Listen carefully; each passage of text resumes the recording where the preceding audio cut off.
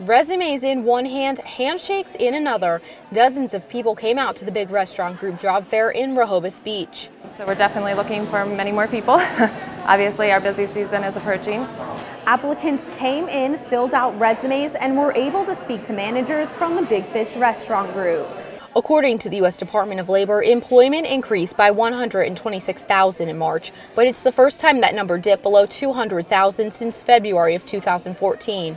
I'm a recently retired uh, elementary school counselor, and I see in the paper that there is a job fair. Kay Elizabeth traveled down from Newark.